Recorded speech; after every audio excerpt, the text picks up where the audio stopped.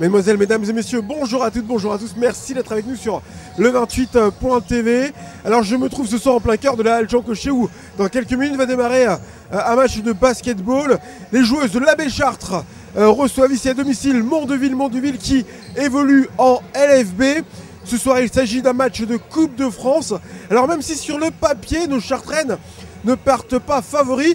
Vous connaissez le charme de la Coupe de France ce soir. Elles ont toutes leurs chances et elles vont tenter de nous le prouver.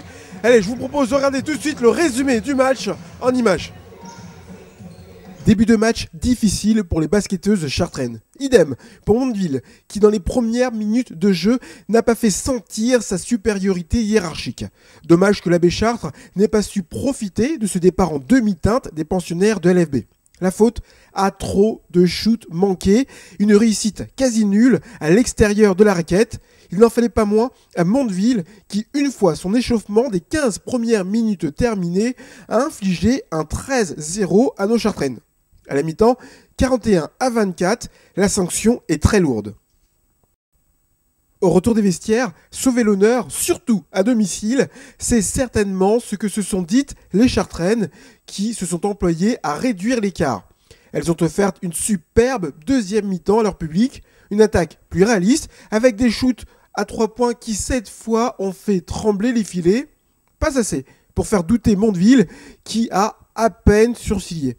Chartres s'incline 60 à 73 dans ce 16e de finale de Coupe de France. Alors, le retour du coach sur l'appréciation de ces joueurs ce soir. Alors, je, suis satisfait de, la fin du match. Dans le dernier quart-temps, on a réussi à se lâcher un petit peu et à vraiment réussir à jouer notre jeu, notamment en attaque. Donc euh, voilà, on a mis un peu de temps à le faire. Euh, on avait une opposition qui était forte aujourd'hui, mais on, on s'était fixé comme objectif majeur de, vraiment réussir à développer notre jeu, euh, et notamment sur le jeu offensif. Donc c'est ce qu'on a réussi à faire à la fin, mais parce qu'on on, a été voilà, un peu plus dans l'intensité, un peu moins hésitante.